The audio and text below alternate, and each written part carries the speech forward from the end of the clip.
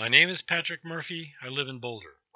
End the Muni and let real carbon reduction begin now, not five years from now.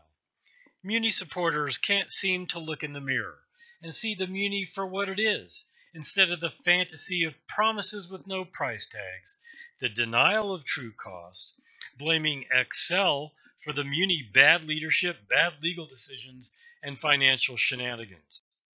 Do Muni supporters address the 24 articles of the Muni naughty list?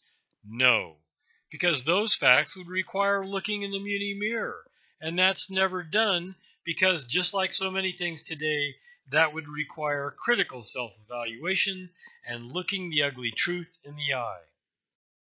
If Xcel negotiations are not successful by the end of July, and the Muni will come roaring back with the fact that if not for the 41 day stay at home order during the petition signature collection, End the Muni would be on the November ballot. End the Muni collected 63% of the required signatures in 37 days and would easily have achieved the target if those 41 missing days were returned. The Muni zombie threatens to eat more time and money, leaving a trail of failure and denial in its path. The Muni never gets time or money estimate right. It forever calls failure success and blames Xcel for everything the Muni does wrong. The Muni has no negotiation leverage. It's run out of money and is afraid to ask for more.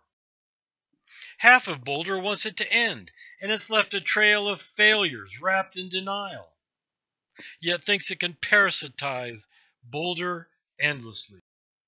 Since 2015, the Boulder Water Utility monopoly has raised stormwater rates 87%, wastewater rates 42%, and drinking water rates 12%.